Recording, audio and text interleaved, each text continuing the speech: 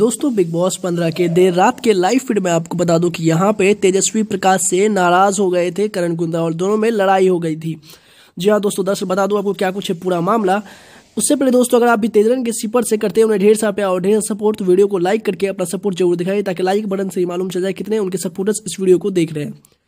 फ़िलहाल दोस्तों, मैं बता दूँ आपको कि देर रात के लाइव फ़ीड में हुआ ये कि किसी बात को लेकर के, किसी बहुत ही छोटी सी बात को लेकर के भीड़ जाते हैं यहाँ पे तेजस्वी और करण कुंद्रा, जहाँ तेजस्वी बोलती है कि तुम बिल्कुल भी मुझ पर ध्यान नहीं दे रहे हो। तो जिसपे आपको बता दूँ कि यहाँ पे करण बोलते हैं कि मैं ध्यान दे रहा हूँ, लेकिन तुम्हें नहीं दिख रहा। अगर नहीं दिख रहा है तो जाकर के साइड में बैठ जाओ। उसके बाद फिर से यहाँ पे उनको मनाने की कोशिश करते हुए नज़र आती है कि अच्छा सॉरी मज़ाक मज़ाक में बोल रही थी मैं। जिसके बाद दोस्तों आपको बता दूँ कि यहाँ पे करण कुंद्रा भी, क्योंकि टांग खिंचाई कर रहे थे तो फिर वो भी मान जाते हैं।